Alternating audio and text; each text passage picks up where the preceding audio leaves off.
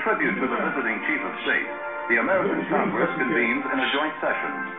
Responding to their invitation, President Bourguiba will address the Senate and the House of Representatives.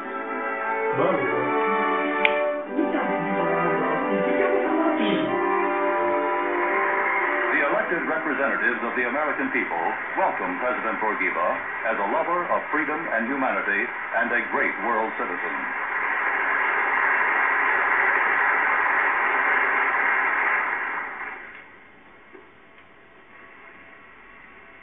Honorables membres du Congrès, c'est pour moi une joie, en même temps qu'un honneur, Honorable members of Congress, it is both an honor and a great joy for me to address the representatives of a friendly people who share with us the same devotion to the deepest human values. The primary quest of nationalism, as President Kennedy has so well understood it, is essentially liberation from the degrading subjugation of man to man and of people to people.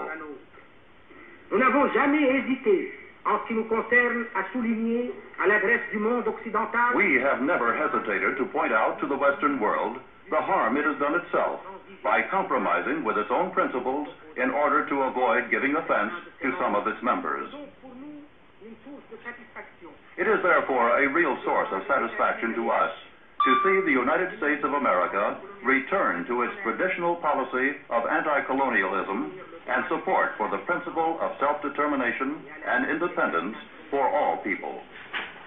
We have never ceased to proclaim our full and unqualified support for the struggle of our Algerian brethren for independence, or to translate that support from the moral to the material plane.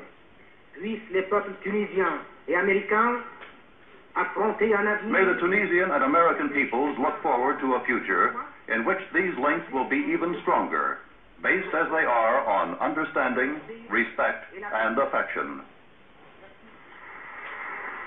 These excerpts, and indeed the entire speech, met with a warm response. The Washington